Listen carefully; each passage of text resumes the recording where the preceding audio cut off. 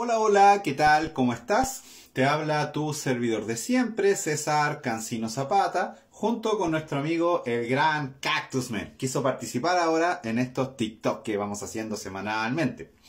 ¿Qué te voy a contar esta semana? Te voy a responder un par de preguntas y eh, comentarte un par de cosas. Primero, muy simple. Eh, una pregunta que me está llegando muchísimo, o algo que también veo muchísimo en las ofertas laborales y en preguntas que están asociadas a los foros que no necesariamente llegan directo a mí, y es ¿qué tecnología tengo que aprender? ¿Cuál es la herramienta mejor pagada? ¿Cuál es la plataforma, el framework que me va a dar una mejor salida laboral? La otra vez hicimos un video en YouTube, está en nuestro canal publicado, en donde un poco explicábamos cuáles eran los, los, tópicos que tenías que tomar en consideración para tomar una decisión. Pero te voy a dar un par de pinceladas que te van a servir para refrescar un poco si es que no viste ese video.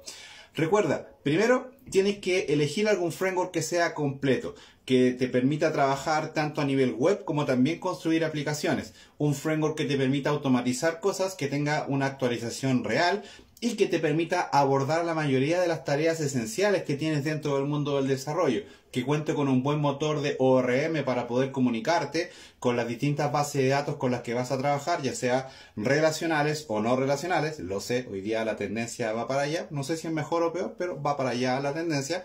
Entonces, ándate por ese lado. Hay gente que te dice que PHP murió, que PHP está muerto. Nosotros con Cactus Men cuando vimos eso nos sentamos a reírnos, nos apretamos el estómago porque muchas de las aplicaciones hoy en día que están en el mercado están hechas, adivina, de hecho te lo va a decir Cactusman, Exacto, están en PHP, entonces PHP puede ser una muy buena alternativa para empezar. Yo te doy la seguridad completa de que si tú aprendes PHP a buen nivel, aprendiendo frameworks como por ejemplo pueden ser Symfony o pueden ser Laravel, créeme que no te va a faltar trabajo.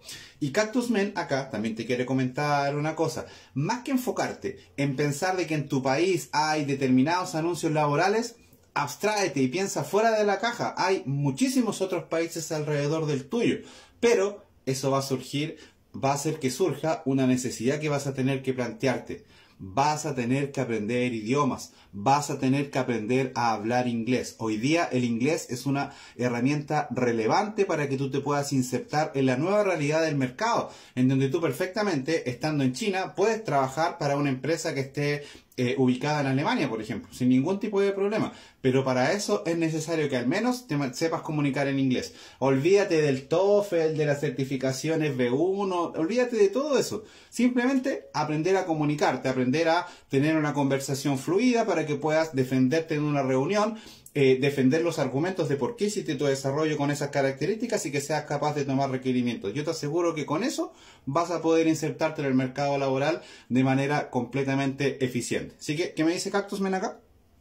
Ah, que te recuerde que tenemos nuevos cursos publicados, publicamos hace poquito el de React, así que pagamos el compromiso y está en la cocina ya, yo creo que la primera, segunda semana de marzo vamos a sacar un curso de NES Framework, NES JS, con Prisma, con Type ORM y con Mongoose. Lo vamos a hacer como actualización del curso de No. Ya te vamos a tener novedades sobre eso. Así que por lo pronto, ten una excelente semana y recuerda que los límites están en tu imaginación.